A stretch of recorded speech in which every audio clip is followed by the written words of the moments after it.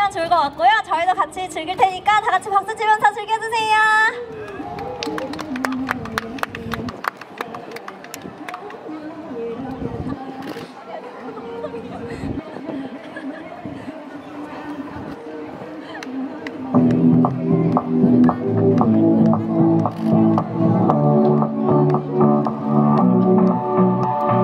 힘껏 내팽개친 하지 역시 어쩜 이리 안